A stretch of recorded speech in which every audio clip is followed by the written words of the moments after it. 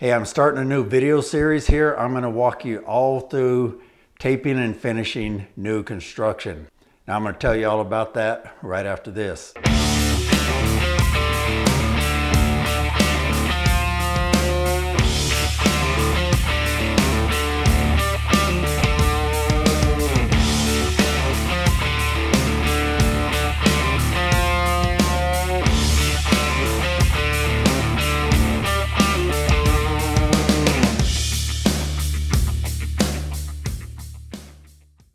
So in this series, I'm gonna walk you through every step of taping and finishing new drywall. I'm gonna show you cheap tools to use to expensive tools.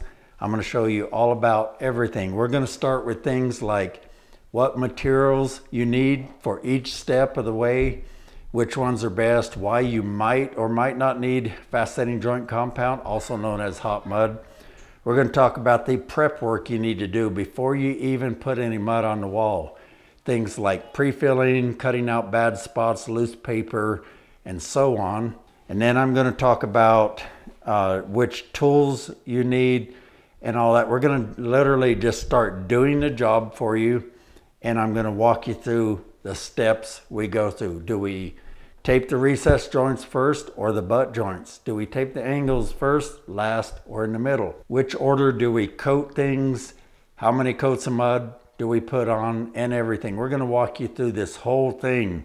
So be sure and subscribe to our channel because this is going to take, I don't know, five or six videos and you'll want to click that bell icon. That way each time I put out another one of those videos, you'll get a notice of it. And like I said, I'm gonna show you everything from taping it by hand to taping it with this tape buddy, to a banjo, to a bazooka, to coating by hand, to finishing and coating with these taping tools. I'm gonna show you all the various ways. And then at the end, I'm gonna talk about how good it needs to be for a textured finish and versus level five. We're even gonna talk about doing level five with these skim coating blades. So hey, join me in the very next video. We're gonna start talking about the materials and get some mud mixed up, do some pre-filling.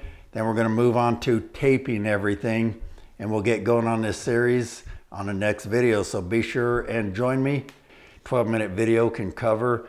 Uh, is that my phone? I think. They dropped a plate or something. I'm not sure I understand. Nope. Oh. okay, Siri thought I was saying something. I said Siri, and it thought I said Siri.